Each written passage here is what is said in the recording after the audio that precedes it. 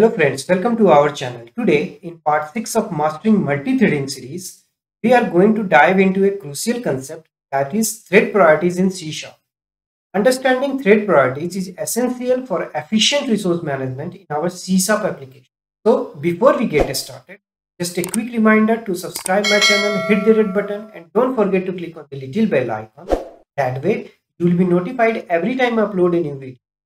Okay, without any further delay, let's get started. Threads priorities in C Sharp. In C Sharp, every thread has a priority that determines how often it gets access to the CPU. Simply put, a high priority thread will receive more CPU time compared to low priority thread.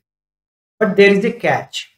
The amount of CPU time a thread receives not only depends on its priority but also on the type of task it's performing.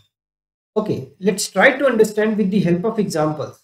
Let's say if a high priority thread is waiting for shared input output resources to complete its task, it can be temporarily blocked. In the meantime, a lower priority thread might get a chance to execute if it does not require those shared resources. In such scenarios, a high priority thread may end up with less CPU time over a specific period. Another critical factor is how the operating system implements task scheduling. It plays a significant role in determining how much CPU time a thread receives. So now the question is, how do we set the priority of a thread in C Sharp? It's quite straightforward. When we create an instance of the thread class, it comes with a default priority setting. To get or set the priority of a thread, we use the priority property of the thread class.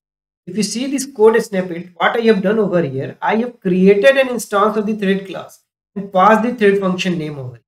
That's why I wrote thread my thread is equal to new thread and here I'm passing the thread function name. Nothing but over here my thread function. Then what I am doing, I'm assigning the priority. What priority I'm assigning? I'm assigning the priority thread priority dot above norm. So this is the way how we are going to set the priority to any thread. Thread class has priority property. Here, priority property can have thread priority values only. That's what public thread priority, priority, get and set. So we can set the value and we can retrieve the value from this priority property. If you see this thread priority enum, we have five values. This First, lowest, second, normal, normal, above normal, and the highest.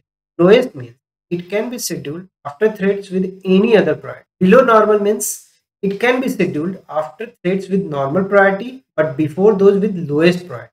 Normal means it can be scheduled after threads with above normal priority but before those with below normal and the lowest priority. This is the default one. Above normal, with this, it can be scheduled after threads with highest priority but before those with normal priority. If finally highest, it can be scheduled before threads with any other priority. Some important points are there that we need to keep in mind while assigning priority to thread. Number one, the default value is thread priority dot normal that we have already seen here. Second one, there are two types of exception that gets occurred if careful consideration is not done. First one is system.threading.thread state exception. So this exception occurs when the thread has entered a final state. Example, system.threading.thread Second one is system.argument exception. This exception occurs when the provided value is not a valid system.threading.thread priority for a set operation. Now you have fair understanding of thread priority. Let's switch to the Visual Studio and see the demo of the thread priorities in C Sharp. Here we are on Visual Studio. Here we are going to see the demo of the thread priorities in C Sharp. For that what I have done, I have created one console application named thread priorities demo that has program.cs. Program.cs file, there is a class named program that has main method, an entry point of this. Here I am printing demo of thread priorities in C Sharp. Now I am just going to create three threads with different priorities.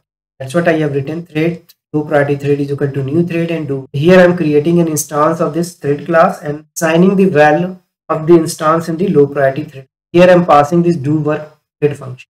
Okay, so what do work method is doing, we are just going to use the for loop over here. And I'm just printing this statement into console. Thread.current thread.name is running iteration. This is the iteration. Then I'm making this thread to sleep for 100 milliseconds.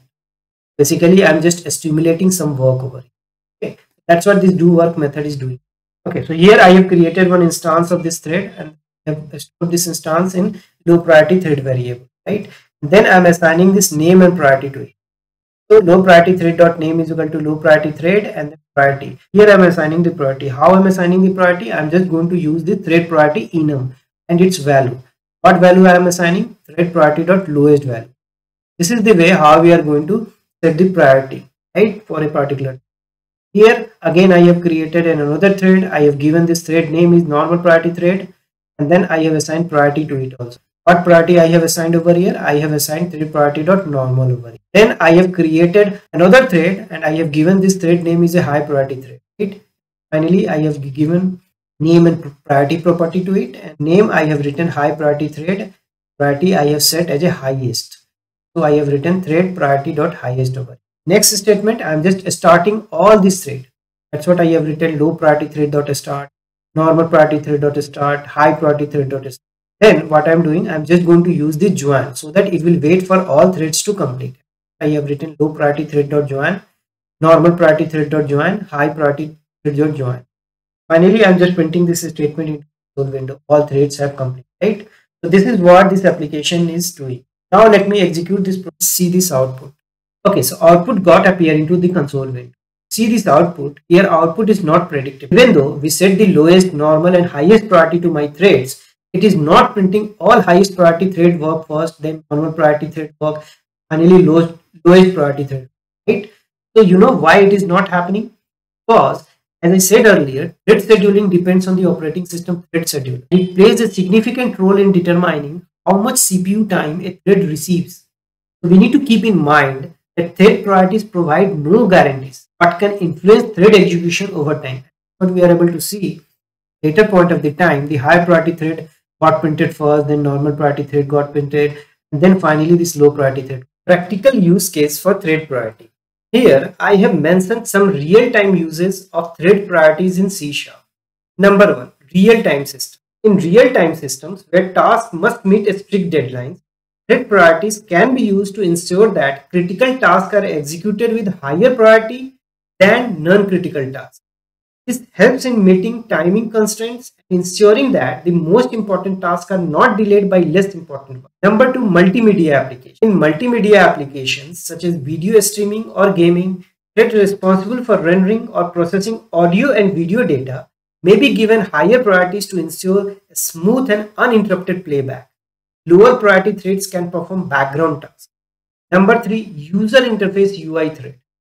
What does it mean here is UI threads are often given higher priority to provide a responsive and smooth user experience. Background threads performing heavy computation or input-output operations may have lower priorities to avoid freezing the UI. Number four, control over CPU usage. We can use thread priorities to control the overall CPU usage of our application. For example, we might lower the priority of background tasks to ensure they do not consume excessive CPU resources when higher priority tasks need them. And finally, parallel processing. When implementing parallel algorithms or parallel data processing, we can adjust thread priorities to optimize resource utilization. Threads with higher priorities can be given more CPU time to speed up the critical processing tasks. Okay, that brings me to end of my session. To sum up, in this video we learned what thread priority in C Sharp are and saw thread priorities values such as lowest, below normal, normal, above normal and the highest. And we saw its demo and finally we discussed some real-time uses of thread priorities in C Sharp. It's worth mentioning here is that we need to use thread priorities carefully and avoid setting extreme values. This can lead to thread starvation or other performance.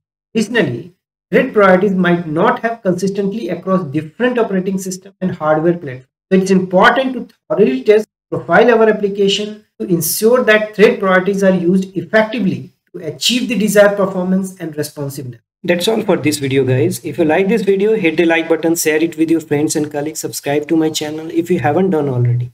Thanks for watching. See you next video.